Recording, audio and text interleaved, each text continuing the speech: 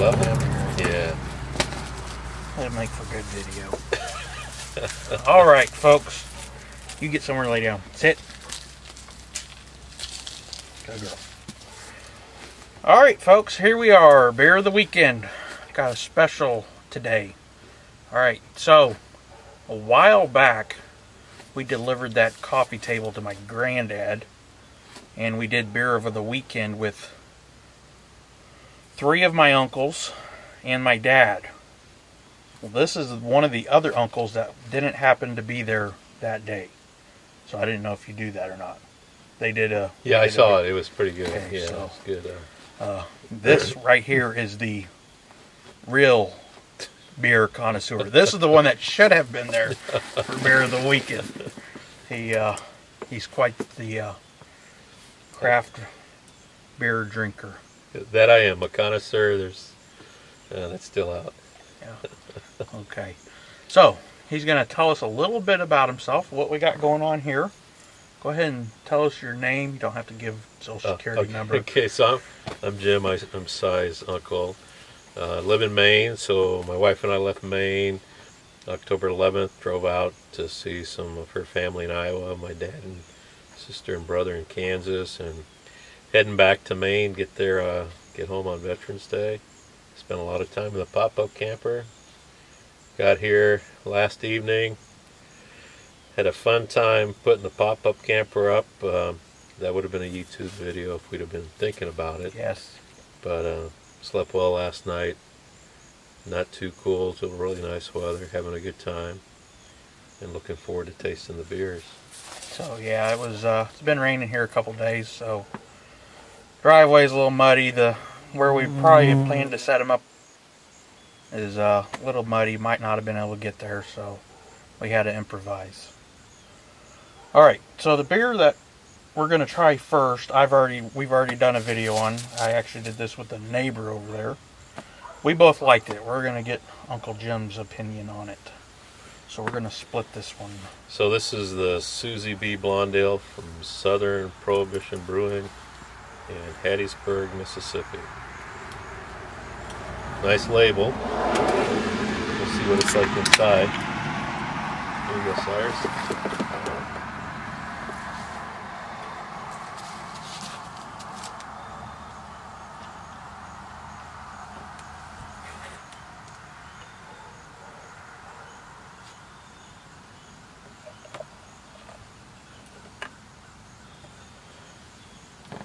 Well, it says it's a blonde ale. It kind of lives up to that. Kind of a dirty blonde ale, but still blonde.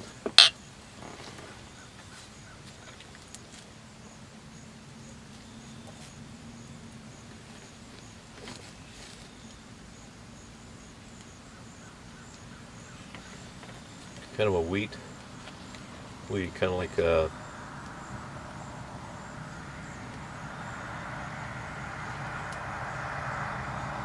along the line of a Budweiser, but better taste, a little bit better body. What are your thoughts? Uh, connoisseur here. I like it. That's my thoughts. Yeah, yeah. It's a good, good, uh, good smooth Yeah. beer. That, that's the nice thing about beer is that different people like different styles, and there's enough styles out there now that you know anybody can probably find a good beer. And it's, some people really like the IPAs, which are all over the place now. I like the stout or a porter.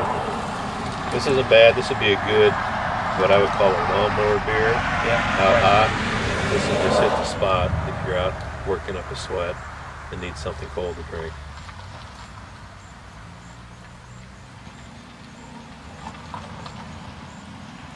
Probably could have used one of these halfway through our setting up in the camper last night.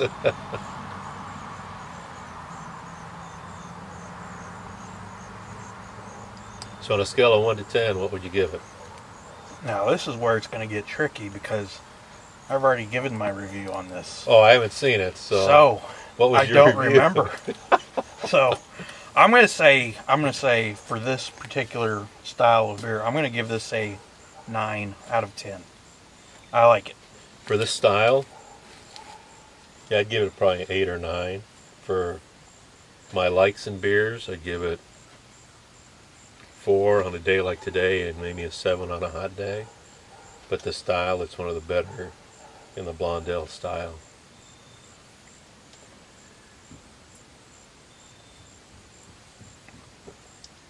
And beer is always more enjoyable drinking it with friends than drinking it alone.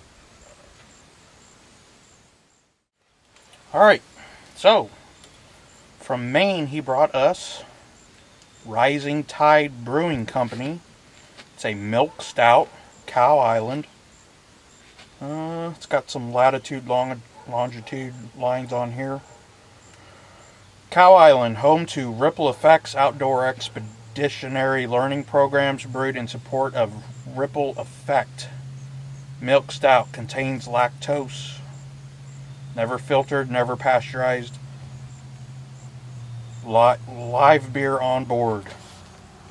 6% alcohol, 1 pint. Brewed in Portland, Maine by Rising Tide Brewing Company. So we had breakfast today. Stephanie made us her breakfast pizza. which was outstanding. The sausage, there's the uh, sausage gravy on there. Best I've tasted in a long time. So This would have gone good with it. this kind of made me think of breakfast. Yeah.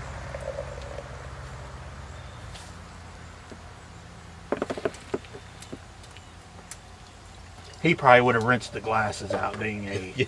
Yeah. Yeah. You're And he probably knows how to pour this better than I'm pouring too.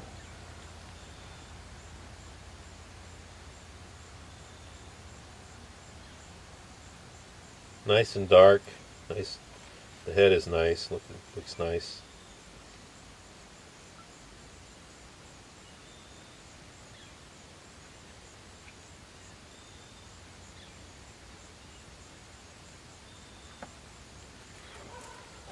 Yeah, that was mine. Well, it doesn't matter side because alcohol kills germs, Yeah. and we're family. Well, I like the Alright. smell. Dark coffee.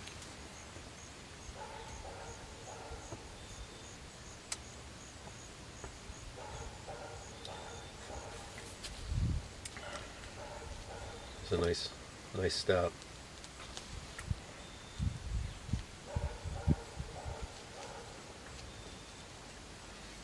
Could be a breakfast stout if you didn't have to go to work.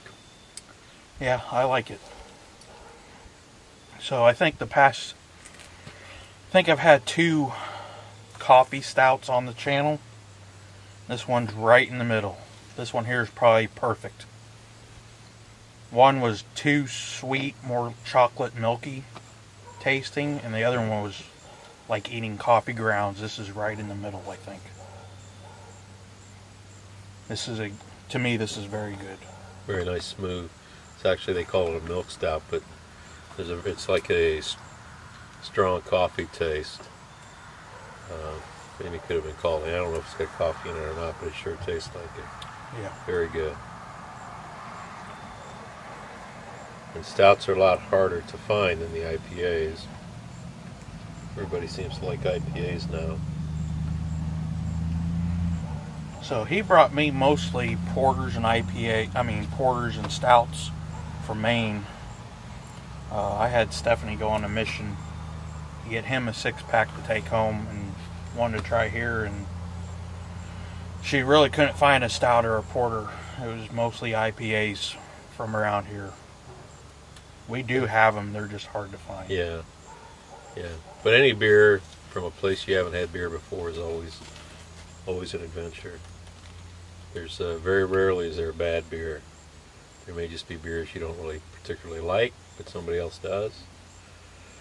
I think I've only poured poured one or two beers down the drain. One was a smoked, uh, smoked beer from Germany that tastes like the bottom of an ashtray. And I guess you got a taste for that, but I, I just I just couldn't get that. Now he says my aunt, he says she likes IPAs. Yeah, she loves IPAs. The hoppier, the better. Uh, so that's a clear, and she doesn't like stouts. So that's a clear example of two people living in the same house who have exactly opposite taste in beer, and you can still get along. Um, just have to know which one to pour them.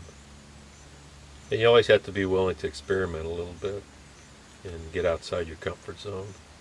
That being said, the more I drink IPAs, the more tolerable I've become of them. I think I've almost got to a point where I kind of almost like them.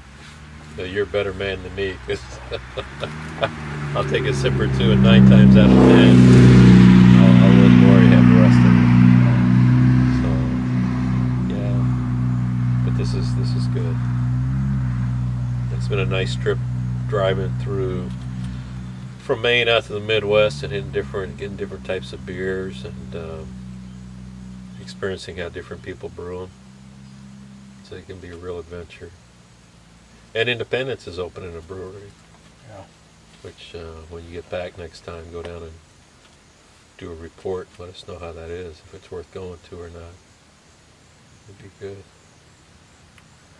All right, folks, I think that is it for this one. Yeah, definitely here in Maine, if you can find this one it, and you like stouts, it's well worth the, uh, the effort. Thank you for watching.